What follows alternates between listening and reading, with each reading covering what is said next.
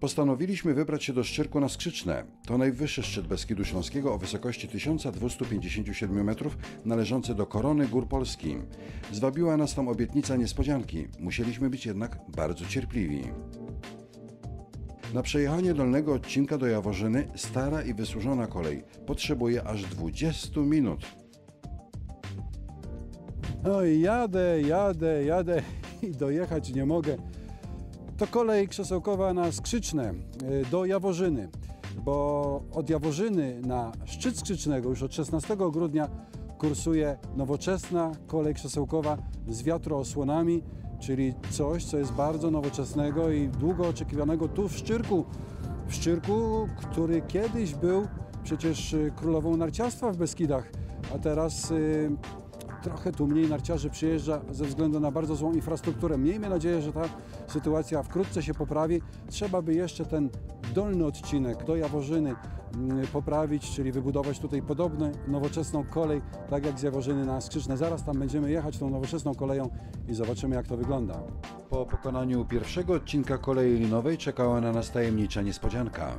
To taśma, dzięki której nie trzeba już wspinać się po pochyłym zboczu, by wejść na peron drugiego odcinka kolei na Skrzyczne. Teraz rzecz najważniejsza, dla której tu jesteśmy. Uroczyste otwarcie nowej kolei linowej z Jaworzyny na szczyt Skrzycznego. Panie dyrektorze, no wreszcie jest. No dokładnie, stoi. Jak, jak Państwo widzicie, no stoi nowa kolej. E, myślę, że jest to jedna z większych inwestycji tutaj e, w naszym rejonie i długo oczekiwana. Będzie ona służyła i sportowcom, i amatorom białego szaleństwa. I to oczywiście jeszcze nie koniec inwestycji, no bo pozostał, prawdę mówiąc, ten nieszczęsny dół.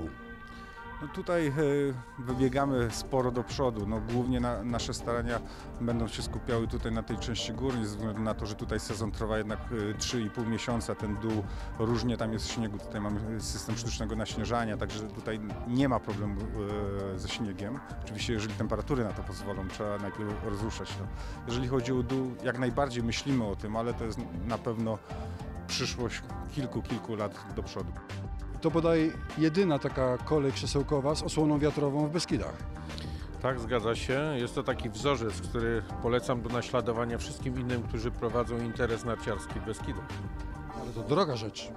No zapewne, ale myślę, że się szybko zwróci, bo wielu chętnych zechce skorzystać z tak nowoczesnego urządzenia. 84 kanapy nowej kolei mogą przewieźć ponad 2400 osób na godzinę. No ta inwestycja otwiera drogę przed Szczyrkiem do powrotu e, do łask narciarzy, bo e, w ubiegłych latach nie było z tym tak dobrze. Tak, y, kilka, o ile nie kilkanaście lat czekaliśmy na ten historyczny moment, czyli pierwszą nowoczesną kanapę w Szczyrku. Wierzymy, że ta inwestycja spowoduje lawinę kolejnych. Już zapowiada na przyszłym roku kanapa na górę Beskid. No i wierzymy, że kolejne ośrodki narciarskie w Szczyrku no, nie będą miały wyjścia, będą musiały inwestować. Dużo jeszcze pracy przed Szczyrkiem, żeby powrócił do miana królowej narciarstwa w Beskidach. Na pewno, jeżeli chodzi o trasy narciarskie, to są najlepsze w Polsce. I to jest fakt. Każdy narciarz, snowboardzista o tym wie. Natomiast infrastruktura narciarska wymaga całkowitej wymiany. No jest to pierwszy krok, y, na pewno nie ostatni i wierzymy, że w ciągu najbliższych może pięciu, może dziesięciu lat to będzie całkiem, całkiem nowe miasto, bo nie ma tak pięknego miasta z takimi warunkami do uprawiania narciarstwa jak Szczyrk.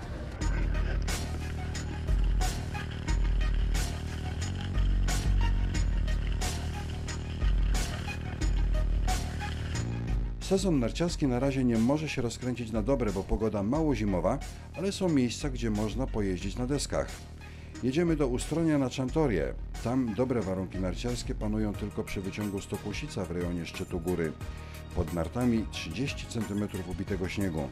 Na dole nie da się jeździć, bo nie ma jeszcze po czym. Z Ustronia przenosimy się do Wisły. Tam docieramy na Soszów, gdzie od tygodnia czynna jest niebieska trasa numer 2 o długości 1300 metrów. W przygotowaniu jest czerwona jedynka. Gestorzy czekają na większy mróz nocami, który umożliwi naśnieżanie tras zjazdowych. Z Soszowa przejeżdżamy kilka kilometrów dalej do nowej osady na górę Wroblonki. Na tym niewysokim wzniesieniu nie udało się jeszcze dobrze naśnieżyć głównej nartostrady. Nieco więcej śniegu jest w rejonie górnej stacji kolei krzesełkowej, ale to wciąż za mało do jazdy na nartach i deskach snowboardowych. Z nowej osady jedziemy do wiślańskiej dzielnicy Malinka. Jak ogłosiła stacja narciarska Cienków, jej działalność zostanie wznowiona w piątek 20 grudnia. Na sąsiednich klepkach trwa montaż nowej kolei linowej. Tam również czekają na mróz i śnieg. Przenosimy się na Biały Krzyż na przełęczy Salmopolskiej. Na stoku panują dobre warunki narciarskie. Czynna, główny wyciąg orczykowy i talerzykowy Bartuś. Jesteśmy już u podnóża skrzycznego w Szczyrku. Na dole nie ma jeszcze możliwości szosowania. Dopiero od Jaworzyny do szczytu góry jest już biało i przygotowywane są trasy zjazdowe. Ze Skrzycznego przejeżdżamy w rejon Małego Skrzycznego, gdzie w ośrodku Czerna Solisko na razie nie widać możliwości uruchomienia wyciągów. W rejonie hali skrzyczeńskiej jest co prawda biało, ale na dole w Solisku widać jeszcze braki śniegu, co uniemożliwia otwarcie nartostrady. Popularna Golgota też jeszcze nie gotowa, choć brakuje niewiele, dwie, trzy noce sztucznego naśnieżania. Podobna sytuacja w Czernej i na hali pośredniej. Być może tuż przed świętami uda się przygotować nartostrady, bo nocami jest już kilka stopni mrozu. No trochę już pojeżdżone przy pięknej, wspaniałej, słonecznej pogodzie. Wystarczy tylko spojrzeć na Dolinę Ustronia. Coś pięknego. Duży widok, piękny, wspaniały. Chmury nie przeszkadzają, tylko czasami gdzieś tam przemkną po niebie, no ale one są tylko ozdobą pogodnego nieba, bo nie pada, a szkoda, bo narciarze tego bardzo potrzebują. Temperatura na szczytach 700-800 metrów nie przekroczy zera, w dolinach do plus 3 stopni, ale nadzieję na sztuczne naśnieżanie i utrzymanie zimowej narciarskiej aury dają mrozy nocą do minus 5, minus 6 stopni i tak ma być przez kolejnych co najmniej kilka dni.